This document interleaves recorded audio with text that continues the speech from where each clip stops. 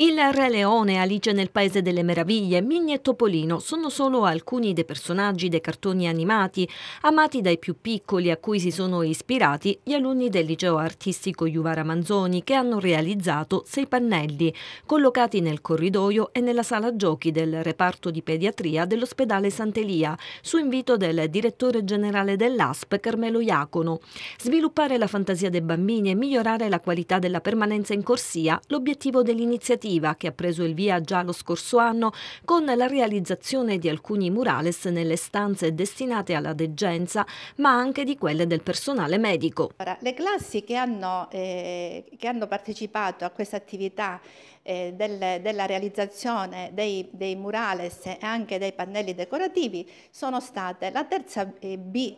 eh, attuale di quest'anno e la quinta B che è uscita l'anno scorso. La quinta B ha realizzato i murales nelle varie stanze dove appunto i bambini vengono ricoverati, mentre i pannelli decorativi, che sono in tutto sei, sono stati realizzati qui a scuola dai, dagli alunni della classe terza B. Tutto questo ha, cercato appunto e ha reso più armonico l'ambiente. I bambini sicuramente in quel momento di, eh, magari di sofferenza eh, osservando e quindi uh, guardando questi murales o anche i pannelli renderà sicuramente a loro quella, eh, quel, quel, quella settimana, quei giorni in, in, ospedale più piacevole. Un incontro tra la realtà scolastica e ospedaliera che servirà a rendere meno traumatico il soggiorno dei piccoli degenti all'ospedale. Un reparto, quello di pediatria, che con il trasferimento nella nuova ala ha migliorato le condizioni alberghiere rendendo più sereno l'ambiente ai bambini, ma anche ai genitori che li accudiscono.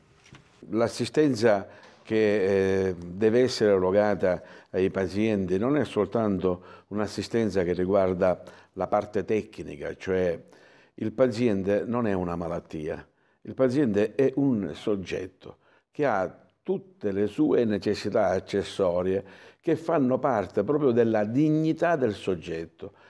Questo avviene per i pazienti anziani, per i pazienti normali, ma a maggior ragione avviene per i bambini. Cioè un bambino che ha un eh, problema di salute e va in ospedale certamente eh, ha un trauma anche dal punto di vista psicologico e quindi andare a trovare un ambiente nell'ospedale che gli ricordi qualcosa di allegro, gli ricordi la sua stanzetta, gli ricordi i suoi cartoni animati quando li vede in televisione, sicuramente lo agevola nel rapporto con la struttura e quindi con la cura che viene attivata. In questo è importante anche l'altro aspetto, l'aspetto della società civile che contribuisce all'assistenza uh, che noi diamo ai nostri pazienti, la partecipazione della scuola. Guardate che è un segno di altissima civiltà.